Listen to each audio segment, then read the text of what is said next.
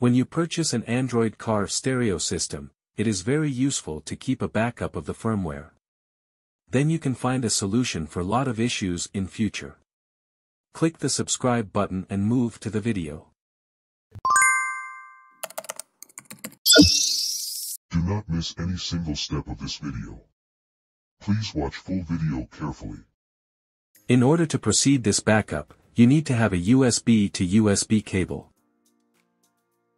Take the 4-pin USB cable and connect it to the car stereo system. Do not use a 6-pin USB cable for this upgrade. Next, connect the power cable and ensure both the battery wire and the accessories wire are connected. Then, connect the 4-pin USB cable from the car stereo to the computer. Finally, provide only the ground supply to the car stereo. You have to download the following soft wires and drivers.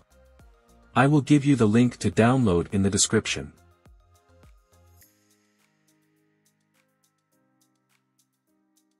On your computer, search for, change advanced startup options, and navigate to the advanced startup settings. The computer will restart to the advanced startup menu. Once restarted, click on Troubleshoot, then select Startup Settings. Click on Restart. The computer will restart into startup settings.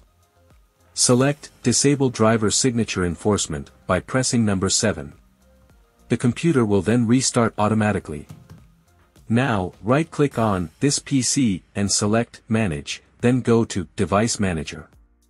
From the Actions menu, select Add Legacy Hardware. Click Next in the Hardware Wizard. Select Advanced and click Next. While highlighting All Devices, click Next.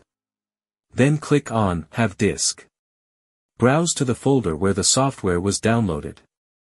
Select the driver, 64-bit or 32-bit, according to your operating system. You will see a security warning, click on, install this driver software anyway. Once the installation is completed, find the MediaTek driver. Right-click on it and select Uninstall driver, making sure to leave the checkbox unchecked. Restart the computer. Now, go to the SP Flash Tool application, right-click on it, and select Run as Administrator. If you receive a message, ignore it. Next, select the scatter file. Choose the downloaded scatter file, which is only for backing up the firmware.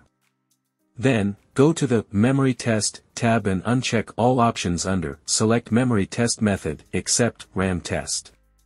Click on the Start button and provide power supply to the car stereo system. Wait for it. You can see some data on the screen.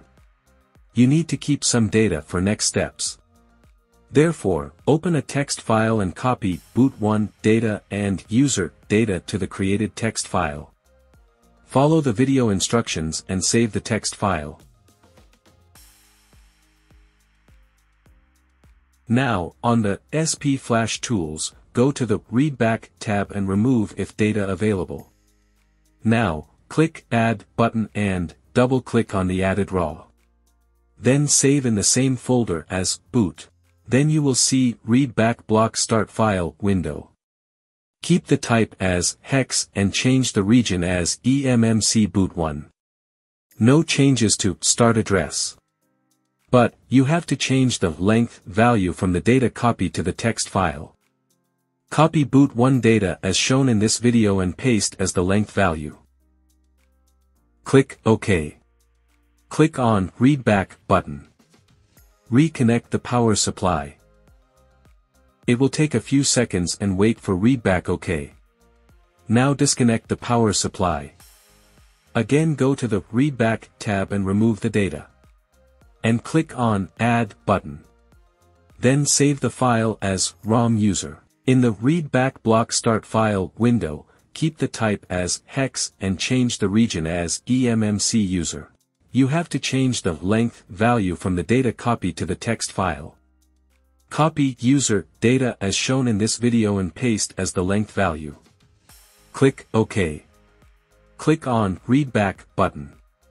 Reconnect the power supply. This readback process will take around 30 minutes to one and a half hours. I will skip the process so as not to being a long video. Now the readback process is completed. In this case it took around 88 minutes. Now you can unplug the power.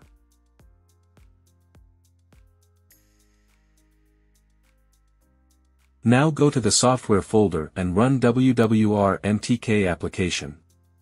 This will take 120 seconds to run. If you want to get ad-free version, you have to donate $10. Watch each and every step carefully without skipping the video. On WWRMTK application, click Select button and navigate to the folder, then select the boot 1 file.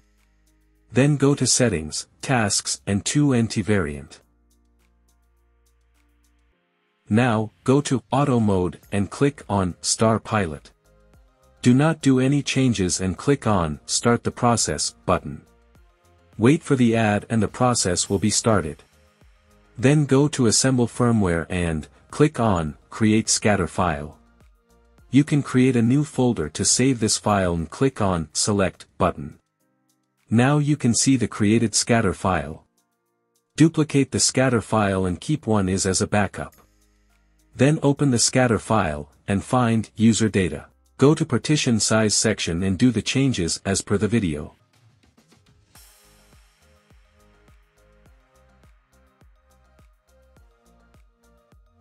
Now you can save the file.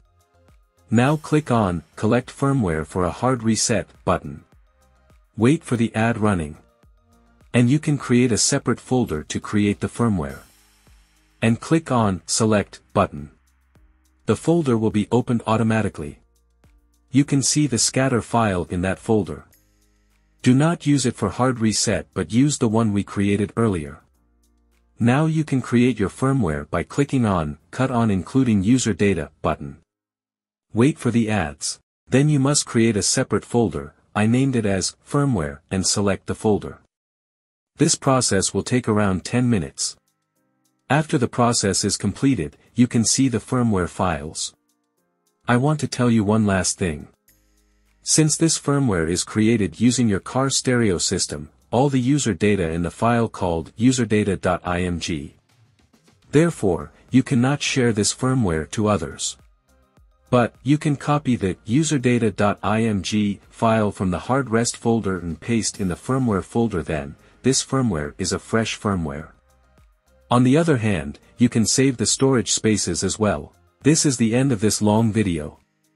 Do not miss any single step of this process. I will show you how to hard rest and install the firmware from another video. I hope this is important to all of you. Do not forget to like, share and subscribe my channel. Stay with Setnfix.